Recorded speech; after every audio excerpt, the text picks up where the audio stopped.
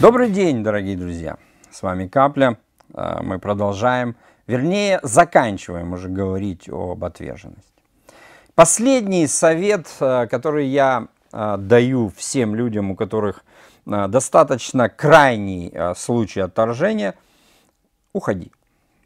Если сообщество или церковь, или да кто угодно, какое бы то ни было группа людей, они отторгают тебя, отрывают тебя, просто уходи. Знаете, э, в свое время я увидел как видение. Может быть, это было видение, может быть, это была моя фантазия. Но я увидел картину, когда от э, какого-то куста отрывается ветвь и ее выбрасывают. Когда речь идет об отторжении, речь не идет о дисциплине, э, речь идет о том, что ты больше здесь не нужен, и так далее.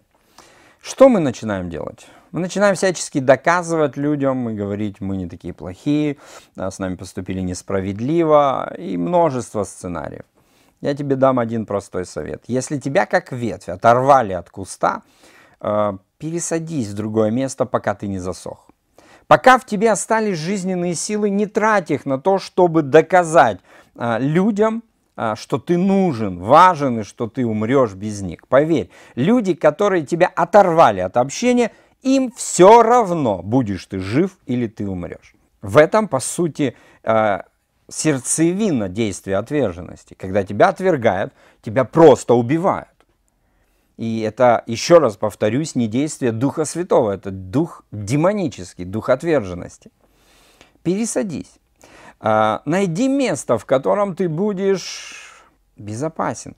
Ты переболеешь, тебе нужно будет отрастить новые корни. Поверь в Боге, это совершенно возможно, потому что Бог не заинтересован в твоей гибели. Он дарует жизнь, ты отрастишь новые корни, и ты станешь новым деревом, либо ты привьешься на другое дерево. Но не пытайся что-то доказывать. Если тебя гонят, уходи. Так учил Иисус. Если тебя гонят, отряси прах и иди дальше.